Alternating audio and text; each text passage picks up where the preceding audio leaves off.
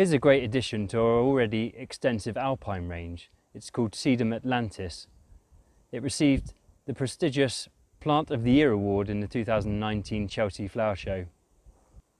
Has these delightful cream and olive green variegated foliage, slightly serrated at the edge.